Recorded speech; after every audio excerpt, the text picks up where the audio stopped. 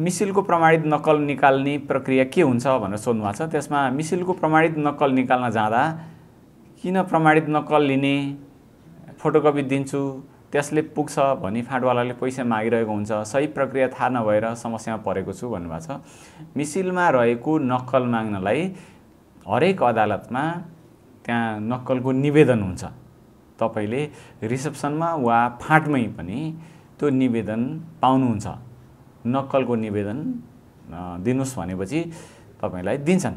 नक्कलको निवेदनमा तपाईँ निवेदन दिने चाहिँ व्यक्ति वादी हो कि प्रतिवादी हो र अर्को विरुद्ध खण्डमा चाहिँ वादी प्रतिवादी को हो त्यो उल्लेख गर्नुहोस् र मुद्दा उल्लेख गर्नुहोस् मुद्दा नम्बर उल्लेख गरेर फाँटमा गएपछि तपाईँले त्यो फाँटको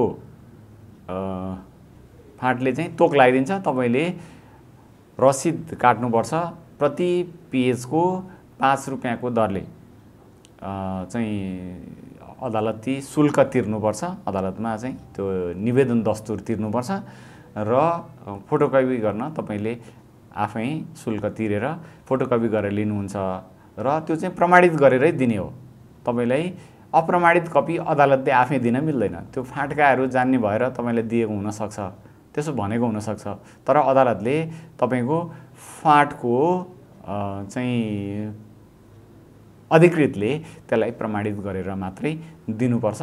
त्यो लिन सजिलो छ। त्यही निवेदन लिएर तपाईँ गएपछि तपाईँलाई शुल्क तिरेपछि प्रमाणित गरेर तपाईँलाई दिन्छ।